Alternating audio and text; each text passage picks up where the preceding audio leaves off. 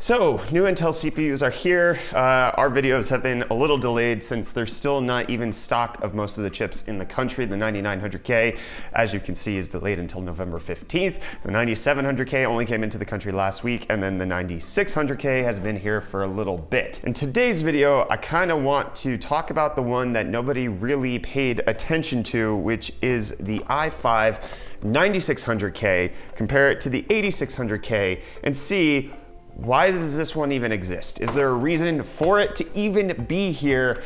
Check the specs, check the temperatures, because it is different in a specific way, and see how it goes. But before we get into the nitty gritty details of the video, I wanna let you know that this video is brought to you by Squarespace, my friends. There's no other ads on this video. It's a demonetized video here on YouTube. That's because Squarespace is paying for it. So if you need a website or an online store, you need some marketing tools or analytics for your website, Squarespace is the all-in-one platform to build a beautiful online presence and run your business. So big thanks to them for sponsoring this. We'll talk more about them at the end of the video. But with that being said, let's dive into the, the meat and potatoes, which is talking about this 9600K. So on the surface, even the boxes look nearly identical between the 8600K and the 9600K. The only difference is that the 8600K is VR ready for a great VR experience.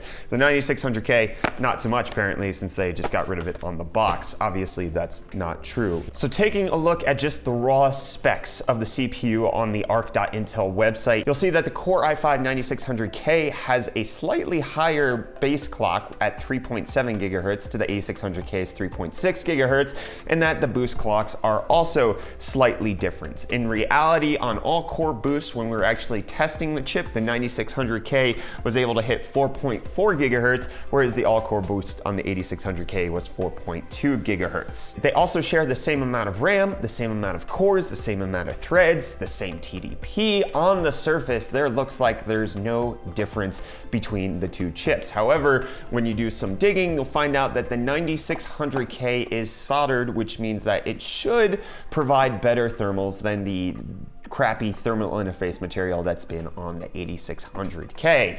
And during our testing, we tried to do our best to find it out. You'll see the test bench right behind me is what we used for the testing. So we did the Z390 Godlike from MSI. We used the Castle 240 RGB cooler from Deepcool.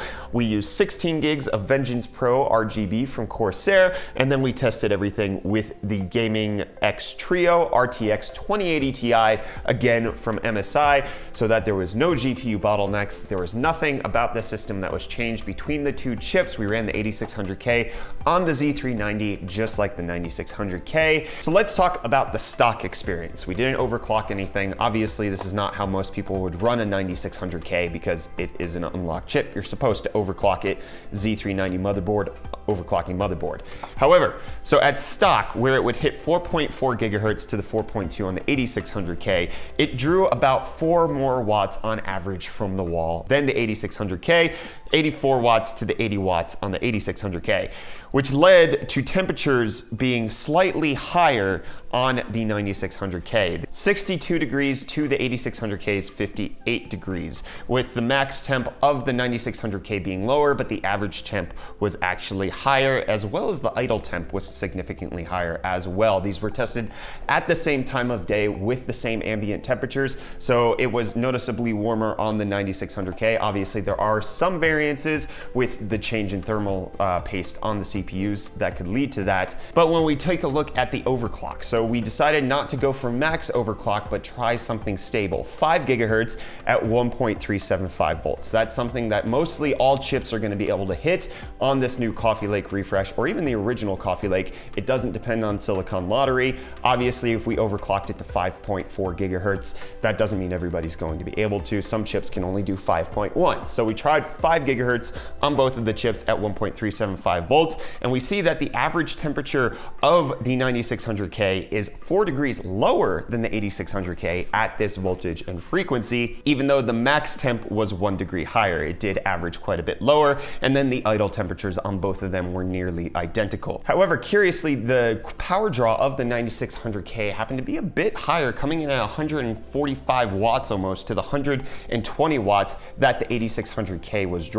So there is a higher average power draw on the 9600K, which with the, it having average lower temperatures means that the soldering actually does do a good job at the high end, even if we're not seeing it on the stock clocks with the stock setup. Obviously, temperatures being the big difference here as far as what's the difference between the chips. Let's go into performance numbers and to see if there's any difference there. So at base settings, at just not overclocking, we see that in most games that we tested, Ashes of the Singularity, Deus Ex, Mankind Divided, in all of the games that we tested, there was an average of 3% difference in the average frame rate that you could get at 1080p high with the 2080 Ti. So in a system that's not realistically going to happen, in settings that you're not going to use that graphics card for, you would see a max of 3% difference in video games, which is the difference between 93 FPS and 95 FPS. That's not a whole lot. That's not something that anybody would really care about. And then in an unconstrained scenario by the GPU, such as in Cinebench,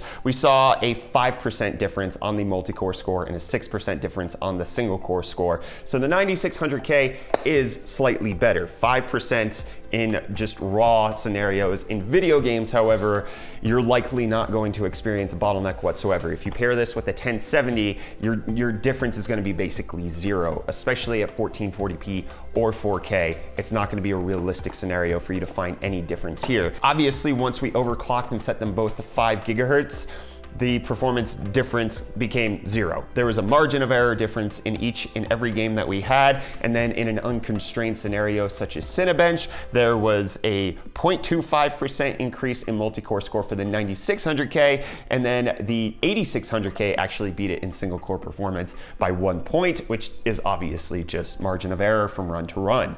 So that brings me to why does the 9600K exist? It's barely an increase over the 8600K in most scenarios. They don't really make sense for purchasing. At this point, if we take a look on the Amazon store, the 8600K is going for $260 and the 9600K is going for $280. That is $20 difference for not $20 increase in performance. In fact, it's a zero increase in performance if you overclock them, which you should be doing on a K-series CPU. So this next part is gonna be a bit of speculation. The 9600K doesn't make any sense to exist in the scenario that it needed to be released with a Coffee Lake refresh. It provides no additional value, it has no additional threads, and barely any additional performance at stock. What it does do, however, is make the i7 9700K make a little bit more sense. So if we take a look at what Intel has launched with this Coffee Lake refresh, they completely changed the structure of their desktop CPUs. They released an i9 with an i7 on the mainstream desktop platform, and then turned that what usually is an i7, which is a hyper-threaded CPU, the hyper-threaded version of the i5, they turned that into the i9, and then the i7 7 is the non-hyper-threaded version of the i9. So without the 9600K, it actually looks like the i7 is what an i5 should be. And I think there would be more backlash on the i7 9700K if they also didn't release an i5 9600K. Since Intel changed everything anyways, it would make sense that they could drop an i5 from the platform. They don't need to release it. It actually adds no performance increase. They didn't release any of the non-overclockable chips, so they could have also just dropped the i5 off the face of the map. But if it was only the top two tier chips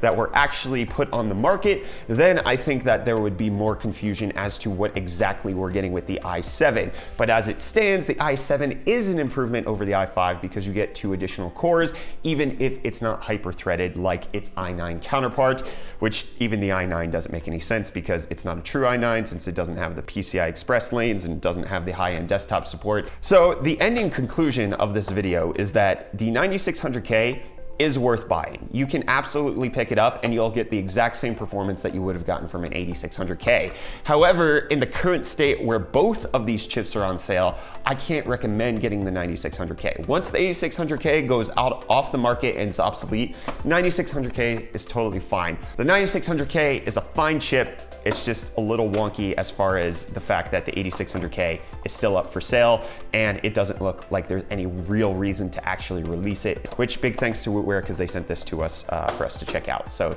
thanks to them for hooking us up with that.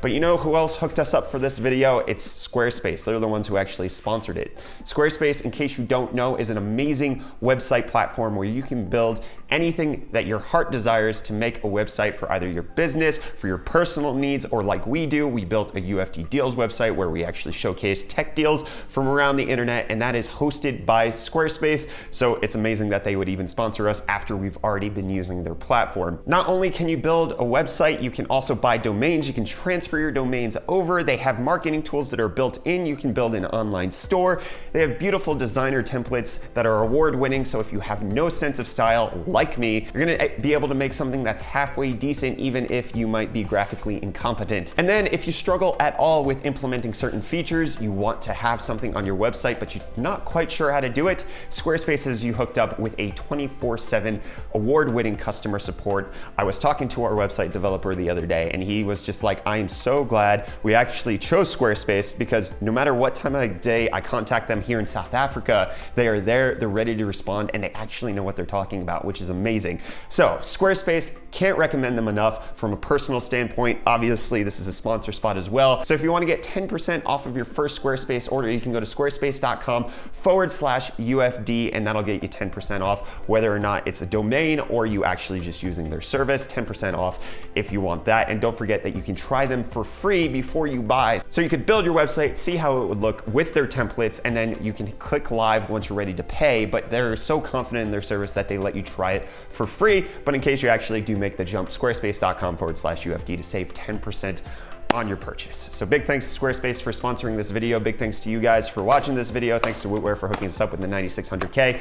Big thanks to us for having an 8600K that we're gonna keep around since the 9600K isn't really a good replacement, but I wanna know what you guys think of this comparison. 9600K, 8600K, which one do you actually wanna use? What are your thoughts on why Intel even released this chip? Because it's nearly identical. Uh, so just let me know your thoughts down in the comments. Don't forget to hit the like button on this video if you enjoyed it. Get subscribed to stay up to date on all of our tech related videos. I'm Brett with the UFD Tech Channel. Thank you so much for watching. I'll see your smiling faces again in the next video. Love you too.